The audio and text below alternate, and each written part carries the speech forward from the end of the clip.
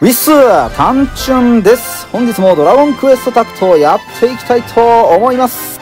この動画ではドラクエタクトを盛り上げたいもっと楽しんでいきたいという気持ちで配信しております。ぜひとも応援のほどよろしくお願いいたします。チャンネル登録グッドボタンもできれば押してくださいとても励みになります。コメントもいただけたらとても嬉しいです。それでは今日も元気にやっていきましょう。レッツゴータクト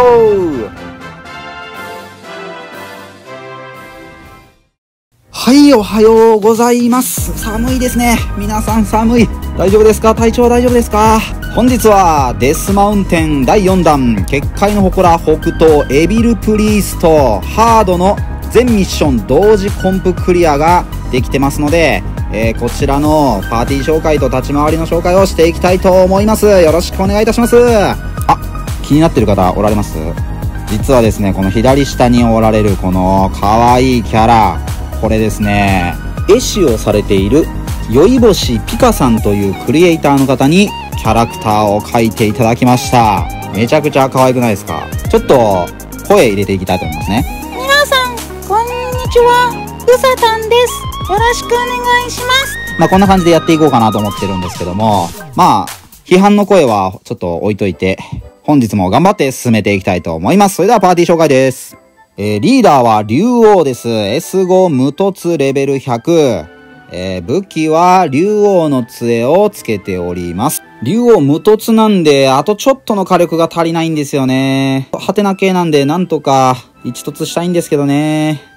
特技はメラミプラス8、メラゾーマプラス8、煉獄マダンプラス8、全部8となっております。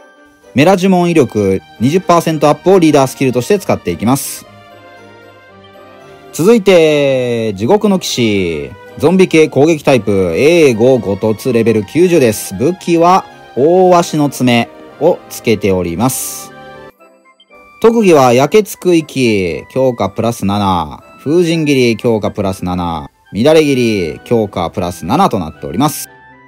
続いてドラゴンバゲージ B5 5突レベル80。おなじみの優秀モンスターですね。装備は雷鳴の剣。私は HP 盛りになってますので、こちらをドラゴンバゲージに今回つけていきました。特技はカバウがプラス5、火炎の息もプラス5となっております。全然まだ育てれてないですね。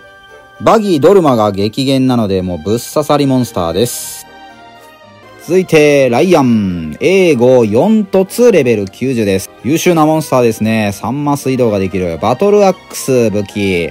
私の錬金はまだ全然やってないので、こんな感じで止まってます。防具で三河しの服をつけることによって私は少し麻痺耐性を上げていきます。今回は麻痺をかなりスモールグールが打ってくるので、この防具をライアンにつけております。特技は刃砕きプラス8、ウォークライプラス8、鉄鉱山プラス8。基本的に鉄鉱山プラス8を使っていっております。不死鳥天部はプラス8ですかね。はい、えー、優秀モンスター、アームライオン A5 3突レベル90です。武器は百獣のハンマーですね。これはむちゃくちゃ強い武器ですね。魔獣系、物理力4%と、物理抜群3%と、攻撃力をかなり上げてくれる。特技は火炎切りプラス8、煉獄切りプラス8、めった切り強化プラス7となっております。以上のパーティーでやっていきたいと思います。初期配置はこんな感じで並べておいてください。こっからはちょっとテロップは控えていきます。立ち回りに集中して見てもらえたらなと思っております。まず、エビープリーストはライアンを狙ってきます。あ、ここ、オート。オートしたままだった。オートしたままだったので、勝手に動きましたね。はい。地獄の騎士が2歩上に上がって、スモールグールを叩きます。ライアンはこの位置でウォークライ。攻撃準備します。竜王は煉獄マダンでここで落としていく。ドラゴンバゲージはその場でカバウで待機。ドラゴンバゲージは麻痺耐性があるので、まあ麻痺になることはあんまりないですね。続いてアームライオン、守備力を下げたいんですが下がりませんでしたね。それでも大丈夫でした。下がれば最高です。地獄の騎士で乱れ切り。基本エビルプリストを倒していく。はい、ここで、鉄鉱山守備力が下がりました。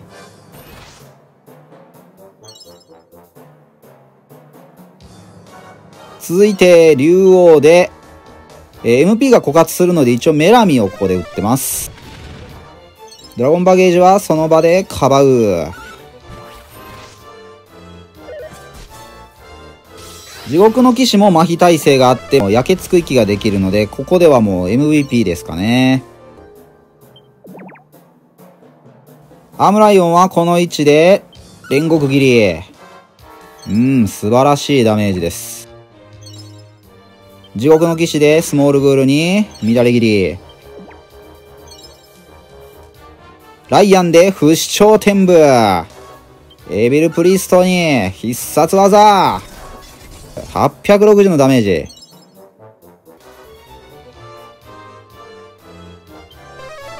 竜王でメラミ。ドラゴンバゲージはこちらでカバウ。スモールグールがめちゃくちゃ麻痺の攻撃をしてくる。4ターン目、エビル・プリーストのバギクロス、51×2 しか食らわない。カバウでなんとか耐えていく。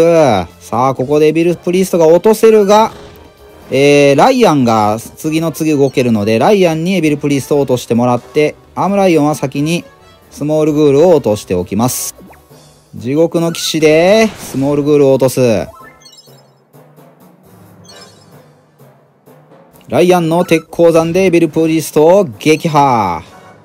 現在のターン数確認。ターン4ターン目。竜王のメラゾーマ。煉獄マダンは当たらない。ドラゴンバゲージは一応かばっておく。は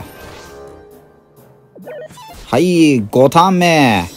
このターン、4、5連続攻撃できるので、おそらくここまでいってれば誰でも5ターン以内はクリアできるかなと思っております。竜王が別に竜王じゃなくても、おそらく5ターン以内は可能なんじゃないかなと思います。特技強化もそこそこしかしてないので、まあ、ベリーハードはちょっと厳しいかもしれませんが、まあ、私もしっかり強化して頑張っていきたいと思います。これで5ターン以内クリア、仲間を一体も倒されずにクリア、ライアンをパーティーに入れてクリアが達成できました。これでハード4ステージが全ミッションコンプリートで動画が出すことができました。あとはデスピサロのハードなんですけども、そちらも全ミッションコンプ完了してるので明日出していきたいと思います。さあ、今日は何のモノマネしようかな？何がいいかな、うさたん？